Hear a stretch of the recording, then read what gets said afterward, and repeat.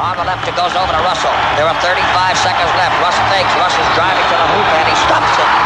95, 85. 30 seconds left in the Celtics are in the verge of their ninth world championship. This place is going berserk. Who is, in your opinion, the greatest center in the history of basketball? Me?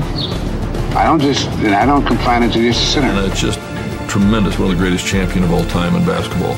I mean, look at what he got 10 or 11 rings. I mean, got more rings than he's got fingers. He was one of the most intense players. To me, Bill Russell is the most dominating individual that's ever played the game of basketball. He does everything that's necessary for a fine basketball player. Without Bill Russell, we're not going to win any championships. The greatest player that ever walked on the court. You, Michael Jordan, Wilt, you have to pick one person. Who do you pick?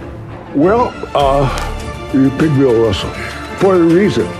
He will never distort your defense or your offense. And I played games in my peak where I got six shots. I could close down the whole front court.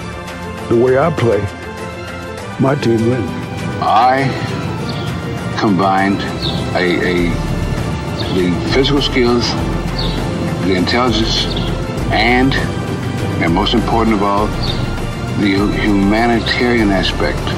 I realized that it was people. It's an amazing, amazing player. He used to get so intense that he would throw up before the game. Coach always got concerned that Bill didn't throw up before the game because he wasn't really ready to play.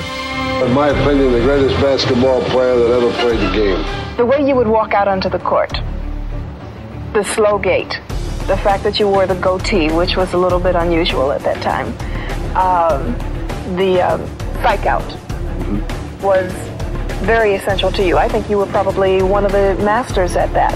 The master.